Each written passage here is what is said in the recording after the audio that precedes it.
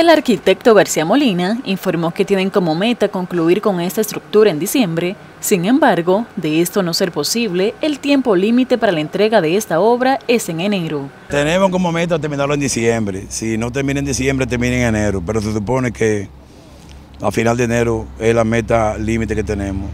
No es tanto así, porque fíjate como las vigas están ahí todas, nosotros la semana que viene vamos a colocar la viga ya, todas ahí, y después que las vigas estén colocadas, el trabajo más fácil porque solamente iba haciendo las losas entre viga y viga y el trabajo de los aproches. Ahora mismo como tuve los camiones trabajando aquí, estamos trabajando sacando material para hacer la playa o la explanación a donde van los gaviones, que los gaviones son los que van a proteger la estructura del puente, la estructura de los aproches y también los gaviones se van a extender hasta una gran hasta parte a la parte del lado sur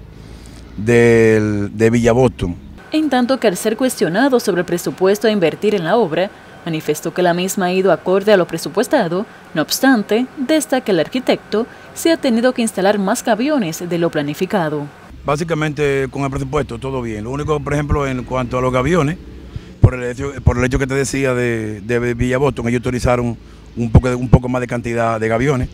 por esa razón, pero realmente todo está pautado como se había planificado. Que pasen por aquí en noviembre, que van a haber movimiento fuerte o el mes que viene.